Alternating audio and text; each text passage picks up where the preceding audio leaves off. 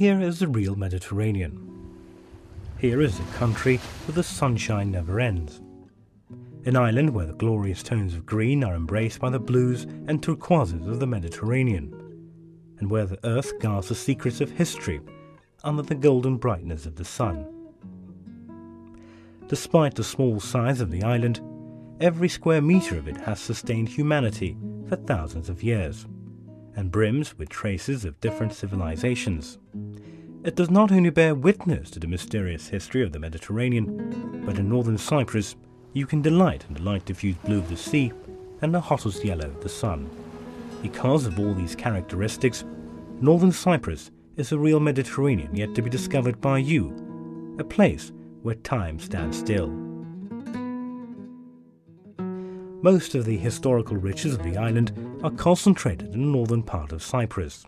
Fairy tale castles built on the Kyrenia mountain range, peaking at a height of 177 meters. Buildings dedicated to different religions, and untouched coast all exist together in this geographical splendor, enhanced by the gentle sound of the waves. Not only does it have untouched coasts, which gives shelter to the nesting sea turtles, it owns endemic plants, rare flowers, pine clad mountains, and orange groves. North Cyprus is a center for history and culture. This small island offers you the real Mediterranean with its vast golden beaches, rich history, and special quality of light, as well as sunshine all the year round, appearing from the monastery of Apostolos Andreas in the far east to the village of Yeşilırmak in the far west. Mythology's most beautiful woman was born in Cyprus into the waves of the Mediterranean Sea. We have no doubt that Aphrodite, the goddess of love, is the most bewitching woman of the mythological world, with her lovers and the legends that she has left behind. You can sense her beauty everywhere as you swim in the sea or as you wander in the landscape. It is magical to have a holiday on the goddess Aphrodite's island. The island of Cyprus is a meeting place of many religions and was also an important point on trade routes of the eastern Mediterranean. Because of its location at the crossroads of eastern and western civilizations where the continents collide, the island has been home to different civilizations at many times over throughout the ages. It was ruled by a number of civilizations from different cultures, and its beauty has been preserved through time. All through its long history, the island of Cyprus has carried traces of numerous civilizations. One can see the evidence of the Egyptians, the Ptolemies, the Greeks, the Romans, the Byzantines, the Lusanians, the Venetians, the Ottomans, and the British. The island of Cyprus, which contains the most precious part of our world heritage, continues to share its 10,000 year old historical past with its fellow humans. Nicosia is the capital city of northern Cyprus, which covers 3,355 square kilometers. Centuries ago, there were only settlements in the area, which were surrounded by walls. However, today, the city has flowed beyond the walls and it is gradually becoming more developed. The Venetian engineer Giulio Savorgnano built the Nicosia walls, which have a circumference of 3 miles. They have three entrance gates and 11 bastions. Savorgnano's ramparts are commonly viewed as a masterpiece. Today, these gates through the ramparts have lost their function because the roads were opened up on both sides to allow the traffic ease of movement. Two of the gates are in southern Cyprus, and one, the Kyrenia Gate, is in the north. The Nicosia city walls surround a unique place on the island of Cyprus, an old city where several civilizations from different periods of history coincide. It is not surprising to see that the remnants of these civilizations in the city. The Great Inn, which is considered the most important Ottoman building, has been restored recently with a sensitivity that reflects Cypriot culture. The inn is a two-floor building with 68 rooms. Although it was known as New Inn when it was first built, It was also known as Alanyalar's Inn, as it was a resting place for tradesmen from Alanya in Turkey. In the 17th century, when a small inn called the Gamblers' Inn was built in nearby Asmaaltı Square, the new inn, by comparison, was given the name the Great Inn. Another feature of the Great Inn is that it is the biggest inn in Cyprus, and it is situated in the centre of the old walled city. Also in the old city, there is another historical treasure. This is the Selimiye Mosque, which was once a cathedral named St. Sophia. The building was converted into a mosque in 1571 when the Ottomans took control of the island. This was where the coronations of the Lyzunian kings were held. It is also the largest mosque from the Ottoman period. The Venetian column, positioned at the centre of the historical Sarayönü Square, is an outstanding column that visitors cannot help seeing. The Venetian column in Cyprus, a symbol of military and political might of the Venetians, testifies to one of the values that Venetians left behind.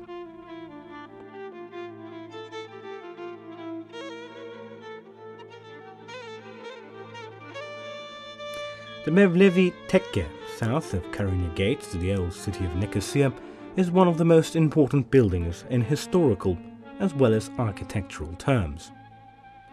The Mevlevi sect, an offshoot of Islam, encouraged an inclusive approach which embraced humanity without any religious discrimination. This approach ensured its survival on the island for a very long time. It is said that the central tekke of the Mevlevi sect in Cyprus was built on land donated by a woman called Emine Hatun in the beginning of the 17th century. Starting in 1873, there were 36 people living in the tekke. These people included Masnavi Hans, sheikhs and dervishes. After the Mevlevi tekke had been closed down for many years, it was put into service again on the 30th of April 1963 under a new title and function at the Turkish Ethnography Museum. However, it was later decided that it should be totally rearranged as a museum of the Mevlevi Tekke, and it was restored accordingly between the years of 2001 and 2002. The exhibition part of the museum was reorganized and put into service in 2002. one can see a great many beautiful historical buildings in the old city of Nicosia. The Saman Bahçe houses, said to be the first social housing in Cyprus, reflect the simple architectural features of their period, their function blending harmoniously with their surroundings. There are 70 houses built at the beginning of the 20th century, marking a significant step in invigorating city planning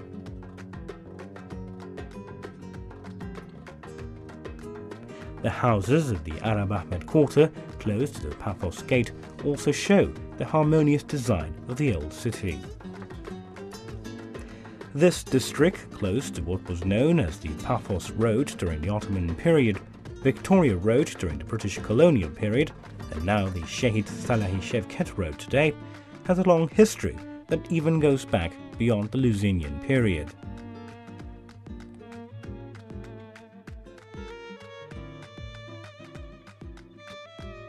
They are places that are a must to visit, which convey a sense, an atmosphere of the historical age they bear witness to.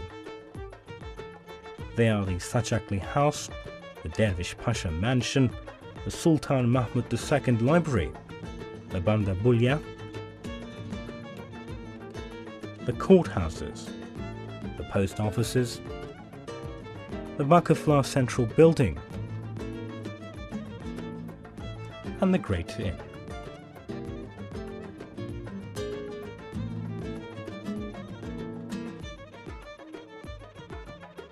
When you leave Nicosia and take a trip across the island, you will find yourself in juniper forest almost immediately. At the point where the sea meets the land, the monastery of Apostolos Andreas rises like a mirage to greet you amidst the gentle tones of green. The monastery is located at the place known as the Cape of St. Andrew and is dedicated to the Apostle Andrew. It is a holy place where St. Andrew is still worshipped as the protector of travellers and workers of miracles. The Karpaz Peninsula is a protected area, now a national park, and is full of juniper forests. It is hardly surprising that the true owners of these forests are the donkeys of Cyprus. These Cyprian donkeys, which have their place in world literature, live their lives in freedom in this area of outstanding natural beauty.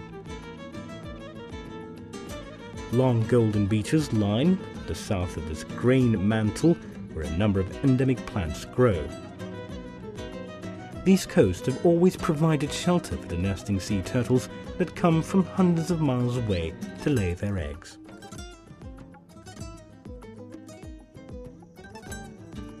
The daffodils spring up everywhere on these untouched, unsullied virgin coast, and to be sure, this must be our most enchanting offering to visitors. When you move westwards, you can see the loveliness of the Karpaz village, which is the first inhabited area you come to. The church and mosque together form a harmony, conveying a peace transcending time. Then there are old village houses decorated with bougainvillea and inviting accommodation. If you descend the north coast of this Karpaz village, you will begin a journey in history accompanied to the sound of waves, with the inspiring sea view of the church of Agios Philion. The Basilica of Agios Trias in the village of Sipahi is another valuable ruin in the Karpaz Peninsula. The most arresting remains of the basilica still extant today are the floor mosaics. Made of vividly colored stones, they describe in loving detail a number of objects such as geometric designs, foliage, and Christian symbols. The styles of these mosaics is that of the mosaic masters of the Eastern Mediterranean, who originally had their center in Antakya and they date back to prior to 535 AD.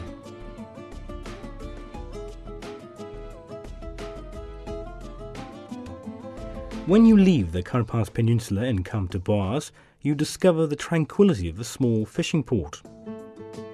In other words, it is the second address of fresh fish. If you change your direction westwards from your coastal journey, you might choose to visit the wonders of the Icon Museum, located in the center of Iskele. The museum is outstanding, displaying some of the oldest icons in Cyprus.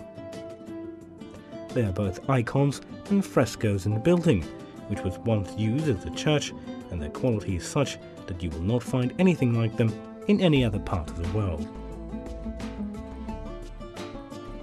Your journey to the historical city of Famagusta may be interrupted by a visit to the ancient port city of Salamis. Part of Salamis lies under the sea. The magnificent columns of the city, which stand at sea level, have impressed travellers from the time immemorial. The city of Salamis started as a settlement in the beginning of 11 BC and became one of the most important cities of Cyprus in antiquity. There are remains of a gymnasium, a street with a column, a later basilica, an amphitheatre, and Roman baths in what was once a magnificent and wealthy city. St. Barnabas Church and Monastery is located on a flat area between the city of Famagusta and the ancient city of Salamis, which is to say that it is on the far west of the necropolis at Salamis. Saint Barnabas was born in Salamis to a Jewish family. After he was educated in Jerusalem, he tried to spread Christianity in Cyprus. However, he ended up martyred by his fellow citizens. The Emperor Zeno declared the independence of the Church of Cyprus 432 years after St. Barnabas's death and even donated money for a monastery to be built there.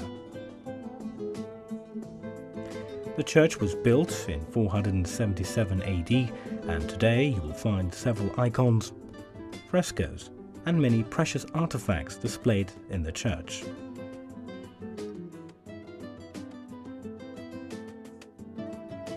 Famagusta is a port city in northern Cyprus and has been listed as a World Heritage Site. The old city, which has a rich past, is surrounded by thick walls and a number of civilizations successfully dominated in the city. The Othello Castle, which was the main venue of the famous tragedy written by William Shakespeare, was built during the Venetian period and is located within the walls of Famagusta.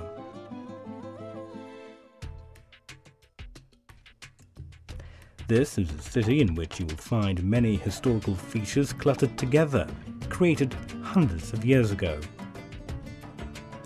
With the Lusinian High Gothic architecture and magnificent stone masonry and the intriguing structure of the ramparts, the city of Famagusta is surely a very special place. St. Nicholas Cathedral is a jewel of the old city and is a unique building in the Far East, built between 1298 and 1312. The cathedral is one of the splendid examples of high Gothic art, and it was where the Lusinian kings were crowned kings of Jerusalem. During the Ottoman period, it was converted to a mosque with the addition of a minaret. On the west side of the cathedral, you can see the two-floor dungeon of the Turkish poet Namık Kemal dungeon was built during the Ottoman period on the remains of the Venetian palace using the same masonry. The Ottoman poet, Namık Kemal, was exiled to Cyprus for 38 months and lived in this dungeon.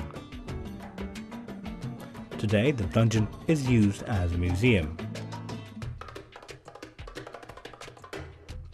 As the crows fly north from Famagusta, you will find one of the highest points of the Kyrenia mountain range. This is Kantara Castle. Here it is possible to see both the north and east coast at the same time. The castle, which was built not only for defensive purposes, but also for maintaining the passes in the east of the mountain range, has defied the centuries. Kantara Castle, built 700 meters above sea level on smooth rock, has a bird's eye view of the plains to the south it is said to have been built in the 10th century for observation purposes. Studies indicate that the castle was used until 1525, by which time the Venetians did not consider the defensive function of the castle necessary and abandoned to its fate. Our journey continues along the north coast of the island, enabling you to enjoy the untouched coast and deep blue sea.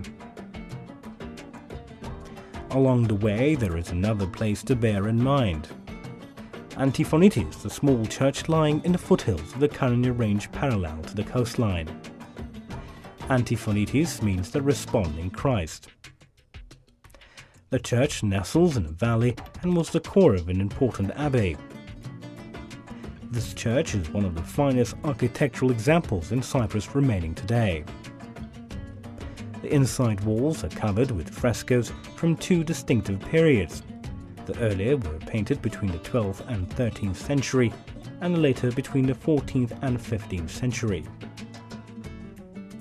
Most of the frescoes depict scenes from the Bible, such as, for example, the baptism of Jesus Christ, and there are also numerous frescoes of saints the Virgin Mary, St. Simon Stylites, St. Peter, and many others. On the way towards the west and northern Cyprus, there is another Crusader castle, Buffavento. The castle was built on one of the highest points of the Kyrenia mountain range, and its situation is stunning.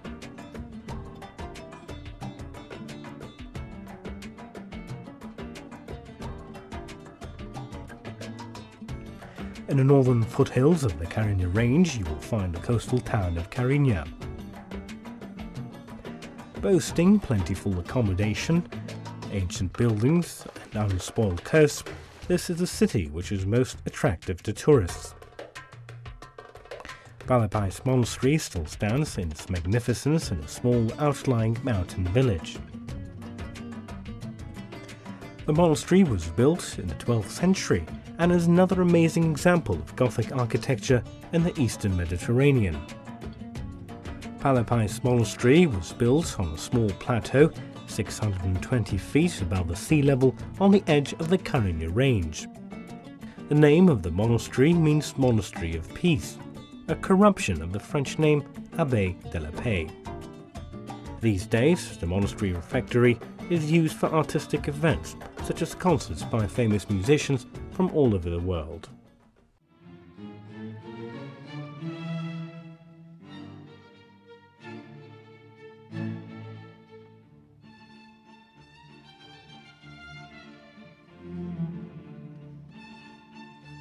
The house of the famous English writer Lawrence Durrell, the author of Bitter Lemons, written in Cyprus during 1953 to 56, is worth visiting and is near Bellapais Monastery.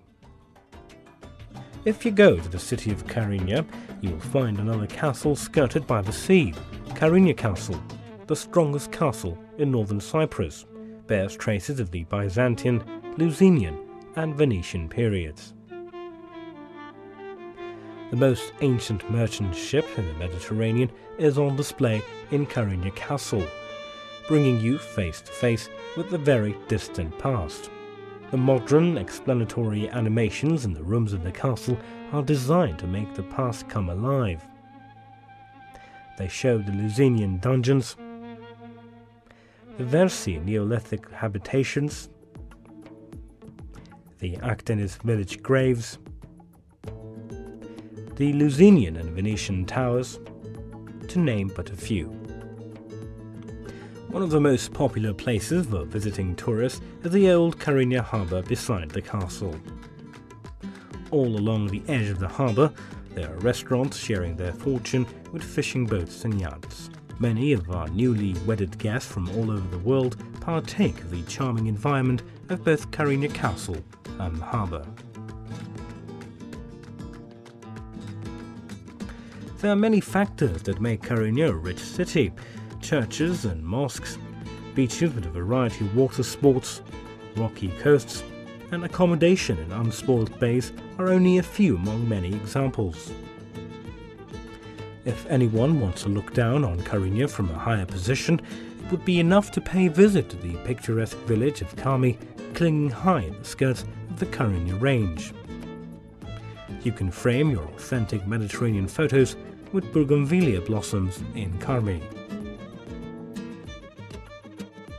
The last castle, located at the highest point of the mountain range, is St. Hilarion Castle, giving visitors a bird's eye view of Kyrenia. St. Hilarion Castle is one of the most magnificent castles still standing. It is also said that St. Hilarion Castle was the inspiration for the castle in Walt Disney's film The Sleeping Beauty, the Queen's window in the castle gives visitors the opportunity and pleasure to look down from 732 metres above sea level onto a spectacular view sweeping down through the foothills to the sea. After you leave the western end of the Kyrenia Range, you should pay a visit to the unique Maronite village called Koruçam or Kormacit. The Maronites settled in Cyprus approximately 1,200 years ago. At present, in general, Maronites live and scattered in different villages, except for this lovely village in northern Cyprus where the population is entirely Maronite. Before 1974, there were almost 2,000 people living in Koruçam, but now there are only hundreds who remain. Aios Georgios Church in Kormacit is a special symbol for Maronites, although the architecture is unexceptional but it's the most important place of worship for the Maronite community in Cyprus. Every Sunday, Maronites from all over the island flock to Aios Georgios to attend to the service. The village is unique in that the mother tongue of the people who live there is Aramaic, influenced by Arabic. They are Maronite Catholics by faith, and they speak both Turkish and Greek. Leaving Kormacit village and journeying parallel to the west coast, you wind through the Mediterranean pine forests. Then the forests give way to vast areas of amazing orange groves. The main city here is called Güzelyurt. Ah, Ayas Mahmut Church is one of the principal treasures of the city and it is dedicated to a saint of the region. It was built during the Byzantine period and was rebuilt during the Lusinian period. When the Ottomans came, some additions were made to the church, which is famous for its wood carvings. The icons and frescoes in the church are very interesting. The Güzelyurt Museum of Archaeology and Nature beside the church offers the visitor still more riches, such as a statue of Artemis, the crown of golden leaves from Soli, which are the most important pieces in the museum, and there are hundreds of other ancient and interesting artifacts.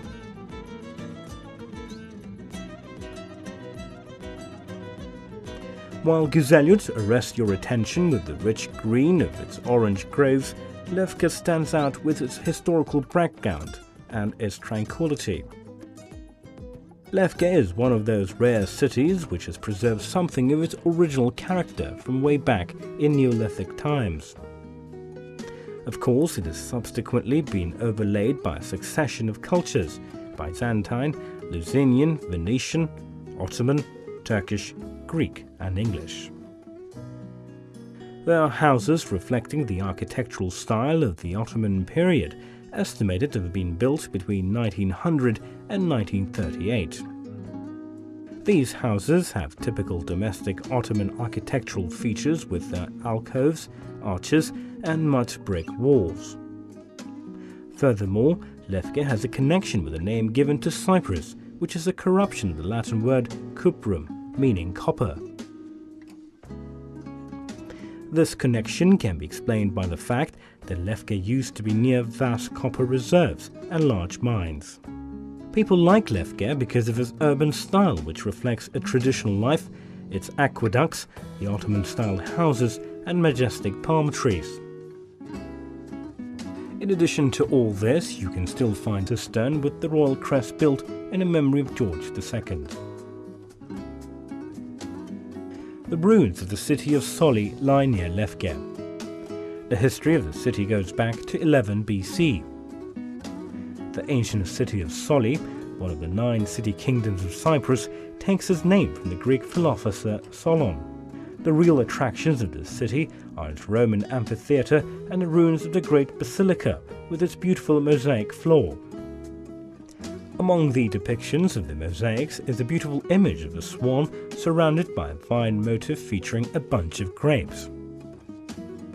The Roman amphitheatre in Soli was built on the remains of an earlier Greek amphitheatre and is on the edge of a hill from which you can see the sea in the distance. The seats for the audience are partially carved into the rock of the hill. Originally, the theatre had a seating capacity for 4,000 people. The Persian palace of Vuni was built to the west side of Soli. Apparently, the residents of Soli burned the palace to the ground, so today we must content ourselves with just the ruins of Vuni Palace, built on the flat top of the hill, with a breathtaking beautiful view over the sea. The palace had 137 rooms and was built by the Persian supporter, the king of the city kingdom of Marion, in order to spy on Soli, which had allied itself with the Greeks. The ruins of the palace mostly show the location of administrative offices, bedrooms, supply stores, steam baths, and workplaces. Unfortunately, it was only used for about 70 years before it was destroyed by citizens of Soli in 380 BC. If you look to the west from the hill of Vuni, you can easily see the unsullied coastal village of Limnidi, or in Turkish, Yeşilırmak. The advantage of Yeşilırmak is its location. It is located in the far west of northern Cyprus. The rocky island outcrop near the coast has no connecting point with the land, but it is where Cyprus's first inhabitants settled in Neolithic times. The village is located in a green valley and is famous not only for its taro and strawberry fields, but also for orchards of a wide variety of fruit trees. Yeşilırmak's genuine source of pride is its special grapevine, with delicious bunches of Verigo grapes acknowledged in the Guinness Book of World Records as the biggest grapevine in the world. Northern Cyprus, with its 260,000 residents in five main regions, continues to be a multicultural treasure trove. It is a country that one should visit at least once in a lifetime. If you want to be a part of this living history, and if you want the contentment of being both in the Mediterranean and being an islander, please make sure that you follow up this invitation. Northern Cyprus is the country where the sunshine never ends.